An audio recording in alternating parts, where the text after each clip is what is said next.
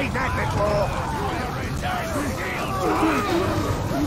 We'll share your meat for supper.